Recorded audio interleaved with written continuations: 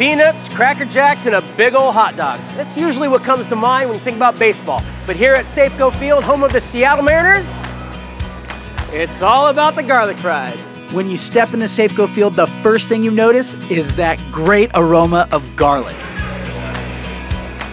Safeco goes through 100 pounds of garlic every single game. So I chatted with executive chef Michael Johnson to find out what makes those garlic fries so darn good. I think first off is uh, we pride ourselves on local ingredients. Okay. They're Washington potatoes, but it starts from there as a foundation. We deep fry them crispy. We use fresh parsley, chopped garlic, parmesan, and people love them. There's no chance these are coming off the menu here, is there? I, I sincerely doubt that. No. Yeah. Now we're off to see what the fans think of them. And I gotta tell you, it was hard to find someone who hadn't had them before. All right, Connie, you a big Mariners fan? I am, I am. And what's a Mariners fan without enjoying these guys, right? Garlic fries, yes, aren't they the best? And what makes these guys so good? Garlic. Because they're garlic fries. These garlic fries even transcend ages. Look at this. Oh, oh there you go. Yummy. Let's give them a try, guys. Ooh. There you go. Get into it.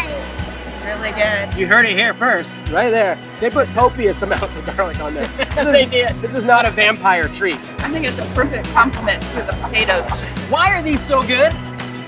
Because they're grown in Washington. Because they're grown in Washington. Yeah, They thank may not agree on the teams, but they can't agree on one thing, and that's the garlic fries are awesome. Awesome.